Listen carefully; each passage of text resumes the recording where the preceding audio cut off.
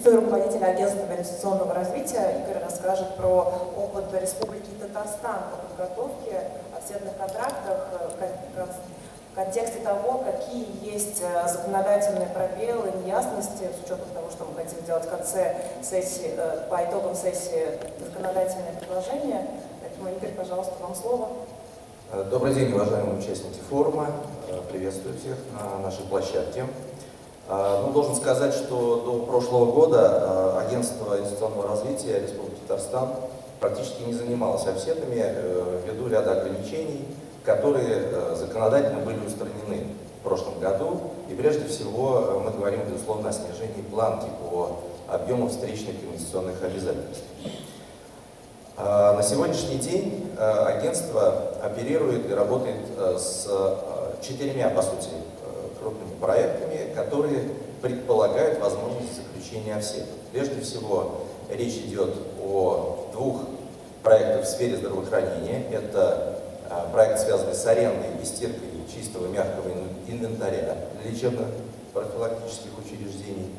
И второй э, медицинский проект, как мы его называем, это э, возможность производства изделий медназначения. Помимо этого у нас в проработке есть проект по организации школьного питания и э, промышленное производство электроники и робототехники. А, несмотря на то, что, как я уже сказал, в прошлом году были скажем так, э, снято определенные ограничения, а, э, начался достаточно большой шквал и поток э, запросов, запросов от инвесторов о возможности использования офсетного механизма при реализации инвестпроекта. Нам казалось, что все достаточно хорошо, и мы сможем быстро помочь инвесторам реализовать их проекты, но не все пошло так гладко. Вот на примере первого проекта с, э, по аренде естественно мягкого инвентаря я бы хотел э, рассказать о некоторых проблемах, с которыми мы столкнулись. Значит, на наш взгляд, э, как должна была бы выглядеть идеальная схема? Существуют некие заказчики в лице лечебно-профилактических учреждений, а также ряда детских дошкольных учреждений, то бишь детсадов, которые имеют Э, намерение, возможность заказать услугу по аренде и стирке а, мягкого белья. А, для объединения интересов этих заказчиков создается некий централизованный заказчик, который объединяет в себе их потребности. Дальше этот заказчик заключает э, офсетный контракт с неким поставщиком услуг, который оказывает эти услуги напрямую в адрес э, конечных потребителей, то есть детсадов и лечебных учреждений. Э, соответственно, эти учреждения направляют свои деньги э, за оказанную услугу в адрес централизованного заказчика, тот, в свою очередь, э, в адрес поставщика услуг. Вот так в идеале эта схема должна была выглядеть. Но, значит, в первом же, при первой же итерации мы натолкнулись на, по сути, концептуальную проблему, которая заключена в самом 44-м законе. Речь идет о, возможно, об отсутствии возможности э, инвестору обратиться с частной инициативой при заключении офсетного контракта. Э, предыдущий э, выступающий сказал, что чаще всего э, э работой с офсетами занимаются те, кто уже занимается э, КЧП. Так вот, э, те, кто работает с КЧП, знают прекрасно, что там есть, грубо говоря, две возможности э, реализовать проект. Это либо публичная инициатива, либо частная. В 44-м законе частная инициатива отсутствует. Поэтому инвестор, когда выходит со своей инициативой о заключении офсета, он опирается на глухую стену. Потребность в заключении офсета должна исходить от госструктур, от э, бюджетных учреждений. Но все мы прекрасно знаем, что такое публичная инициатива от э, бюджетных учреждений. А, соответственно, э, на наш взгляд, было бы правильно, и ну, мы так наивно рассчитываем, что возможно было бы внести определенные изменения, либо в 44-й закон, либо даже пойти дальше и вывести офсеты в отдельный законодательный документ, который бы э, позволял реализовывать такого рода частную инициативу при э, заключении офсетных соглашений. Дальше мы натолкнулись на вопрос, а, собственно говоря, а, кого мы будем определять в роли заказчика? И здесь, э, следуя, опять же таки, определениям, которые есть в 44-м законе, э, в роли заказчика могут выступать ну, либо республиканский орган исполнительной власти, это мог бы быть, например, Министерство здравоохранения, а, либо ГУП, унитарное предприятие, которое также в Татарстане создано и занимается, и определено в качестве единственного поставщика а, лекарственных средств и медизделий в лечебное учреждение, а, либо некое бюджетное учреждение, медицинское бюджетное учреждение, которое непосредственно заказывает такого рода услуги. Нюанс заключается в том, что все ЛБУ в Республике Татарстан не имеют статуса ГБУ, государственного бюджетного учреждения. Они работают в статусе автономных учреждений. Автономные учреждения выпадают из перечня заказчиков по 44 закону. Таким образом, э, определить медицинскую организацию в статусе бюджетного учреждения нам просто оказалось невозможно.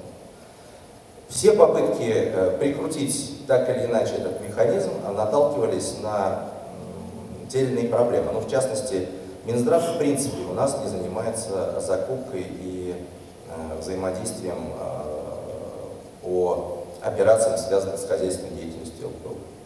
Более того, э, все расчеты э, ЛПУ, которые ведет ЛПУ за э, стирку мягкого инвентаря, это э, средства ФОМС которые доводятся только до э, медицинских организаций, непосредственно оказывающих услуги э, по лечению пациентов. Э, государственное унитарное предприятие, которое определено в республике в качестве единственного поставщика, также по всем этим принципам не подпадает в статус заказчика.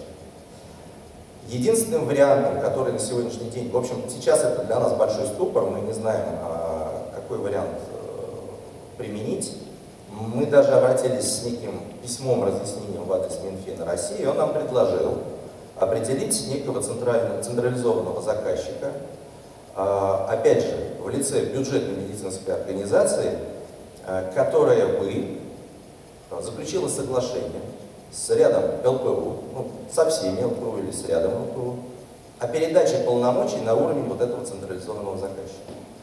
Эти полномочия должны касаться части закупок, части э, доставки товара, хранения и оплаты. То есть они, по сути, предложили нам э, централизовать механизм офсета э, по статье 26, по-моему, если не изменяет не память, 44 федерального закона о централизованной закупке. Опять же, все бы ничего, если бы не эта оговорка относительно того, что это должно быть медицинское учреждение в статусе бюджетного учреждения. Сейчас одним из вариантов мы э, рассматриваем или точнее ожидаем возможные изменения в части федерального законодательства, которое касается ГУПов.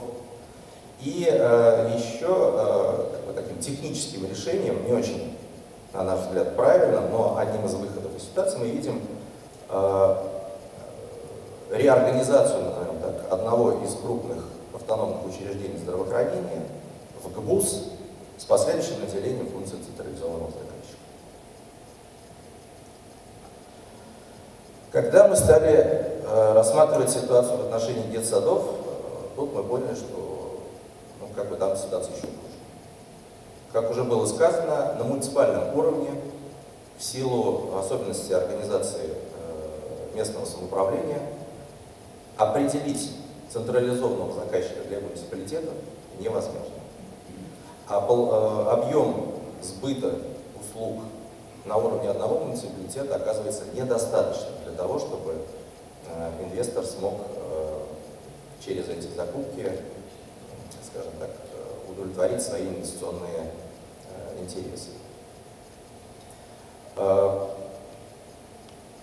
идеале мы видим, наверное, что схема должна выглядеть следующим образом.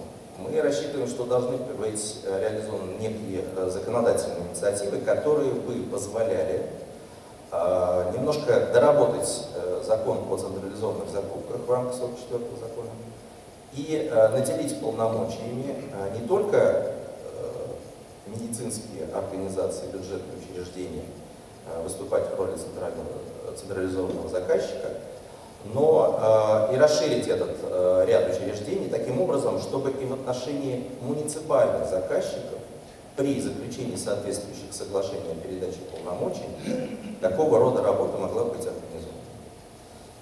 Таким образом, схема э, изначально нами э, рассматриваемая как идеальная, могла бы быть доработана при неком ряде законодательных усовершенствований. На этом у меня все. Благодарю за внимание. Надеюсь, что сегодняшнее мероприятие позволит нам э, раскрыть э, новые альтернативы.